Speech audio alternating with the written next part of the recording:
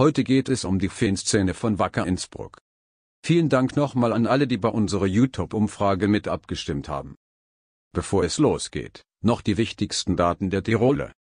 Auch wenn es viele verschiedene Angaben gibt, wurde der Verein offiziell im Jahre 1913 gegründet.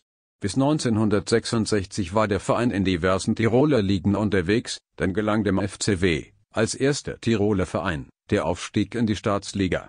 Vier Jahre später konnte Wacker den Cupsieg erobern und schlug daraufhin im Cup der Cupsieger Real Madrid auswärts. In der darauffolgenden Saison konnte man das erste Mal die Meisterschaft gewinnen. Insgesamt kann der Club auf zehn gewonnene Meisterschaften sowie sieben Cup-Titel zurückblicken. Die Heimat der Schwarz-Grünen ist das Tivoli-Stadion, das achte größte Fußballstadion Österreichs. Die Fanszene der Innsbrucker ist als Tivoli Nord bekannt und hat eine sehr lange Geschichte.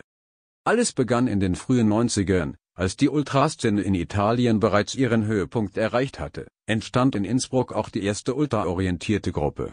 Im Laufe der Jahre kamen mehr und mehr Gruppierungen dazu und man fing an Fanartikel, Flyer zu verkaufen und die ersten organisierten Auswärtsfahrten wurden durchgeführt. Als die glorreichen Wackerjahre vorbei waren, kam es auch innerhalb der Fanszene zu Streitigkeiten, es musste umstrukturiert werden und so schien der Mythos immer weiter den Bach runter zu rutschen. Daraufhin entschieden sich die Wacker-Fans, neue Strategien anzuwenden, um den Mythos Tivoli Nord am Leben zu halten. Dies gelang bekanntlich sehr gut und als es dann sportlich auch noch aufwärts ging, konnte der Tivoli Nord an die legendären alten Zeiten anknüpfen.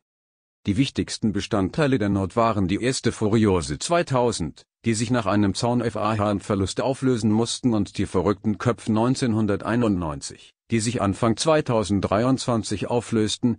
Die wichtigsten aktiven Gruppen sind Unterland 1993 und Wacker unser 2010. Die Szene pflegt Freundschaften zu Eintracht Frankfurt, Atalanta Bergamo und der Nana Calcio aus Italien. Austria Salzburg ist mit Abstand der größte Feind der Schwarz-Grünen. Diese Feindschaft entstand bereits in den 90ern. Zusätzlich ist die Kurve mit den beiden Wiener und Grazer Großclubs, sowie mit den Vorarlberger Clubs verfeindet. Wenn ihr mehr über die verrückten Köpfe erfahren wollt, dann schaut euch gerne unser letztes Video an. Danke, dass ihr bis zum Ende dran geblieben seid und wir hoffen, dass wir euch zu Tivoli Nord Experten machen konnten. Wenn ihr mehr über österreichische Szenen erfahren wollt, abonniert doch gerne den Kanal. Danke.